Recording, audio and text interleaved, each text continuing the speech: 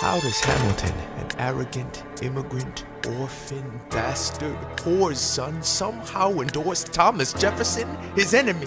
A man he's despised since the beginning, just to keep me from winning. I wanna be in the room where it happens, the room where it happens, the room where it happens.